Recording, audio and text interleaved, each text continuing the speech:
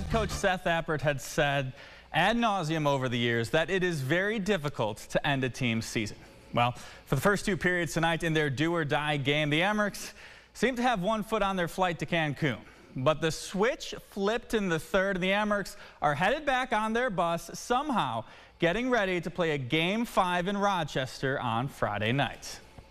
Devon Levi, 60 saves Thursday night. What would he have for an encore? Tested just four minutes in. Breakaway for Syracuse. Levi makes the save, but his team can't clear the puck. Gets back to Cole Koepke, buries it. It's 1-0 after the first. We go to the second. Crunch with once again an odd man rush. Levi getting a piece off the post. There's Waltteri Merelä there for the rebound. The deficit in two. Then a few minutes later, Crunch on the power play. A perfect play to Alex Barré-Boulet. Amerks down 3-0, looking down for the count, but a new team emerges in the third. Brandon Biro, camped in front, pops it in. Rochester showing some life. Midway through the frame, once again, a feed in front. Joseph Cecconi.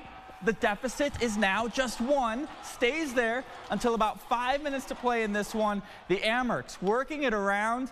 Then Biro, the spinning behind the back shot forces overtime. We're tied up at three. Then we go to OT.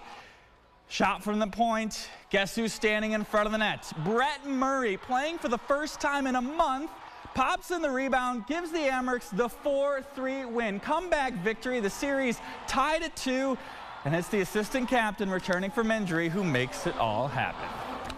What a game for the Amerks. Down for the count.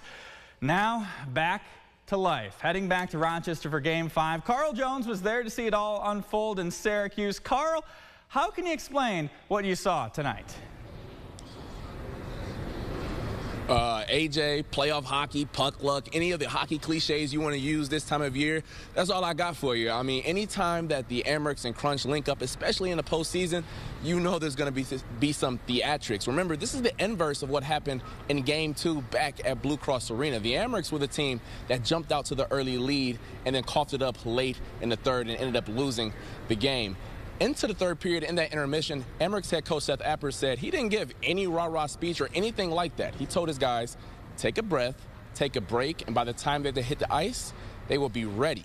This team has thrived under pressure, especially over the last two years, and Appert explained why. This group is very resilient. Um, you know, we talked about that yesterday. They they truly treat each other like a family. Um, they care about each other. They treat each other the right way. They treat everybody at our rink the right way. Support staff, our, our cleaning people, just everybody. When you you've earned that feeling from each other that you're not going to give up on each other on big moments, and that, those are things that we talked about. That's why we've been good in adversity over the last couple years, is because how they treat each other day to day. Uh, and and that came through in the third period. Uh, I mean, it feels great to be uh, to be back battling with the uh, with my teammates. You know,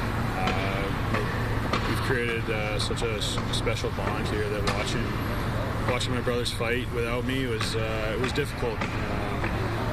but getting back in the line today and, and winning in such dramatic fashion, you know, it just only brings us closer and it felt great to be back.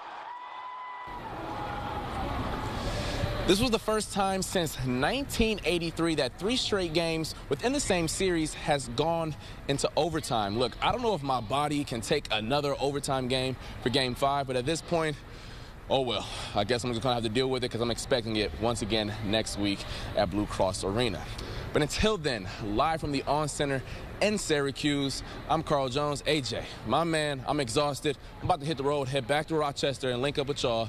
Back to you in the studio. Get some rest, Carl. Thank you very much. By the way, that 1983 season ended in a Calder Cup.